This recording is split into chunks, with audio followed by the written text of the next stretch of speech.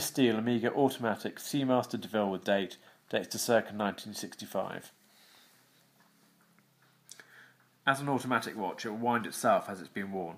However, if the watch has lain dormant for any period of time and needs to be started, this can be achieved by turning the crown a few turns away from you will be enough to get the watch started. In order to change the hand setting, pull the crown away from the body of the watch. You can advance the hands, push the crown back in, and the watch is ready to be worn.